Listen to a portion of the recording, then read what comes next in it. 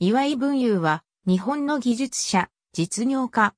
コニカミノルタホールディングス取締役、代表執行役社長や、同社取締役会議長、東京工芸大学理事長、日本オプトメカトロニクス協会会長などを務めた。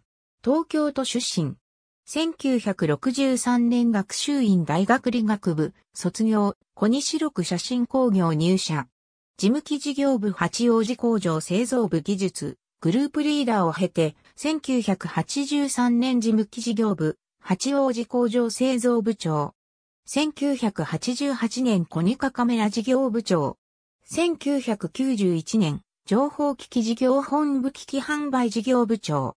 1992年取締役、情報機器事業本部長、剣道本部機器販売事業部長。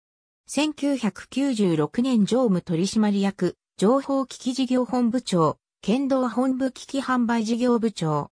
1999年専務、取締役経営戦略室担当。2000年代表取締役専務執行役員、コンシューマーイメージングカンパニープレジデント。2001年から代表取締役社長を務め、ミノルタとの経営統合を行い、2003年持ち株会社となったコニカミノルタホールディングスの取締役、代表執行役社長に就任。2006年コニカミノルタホールディングス取締役、取締役会議長。2011年東京工芸大学理事長。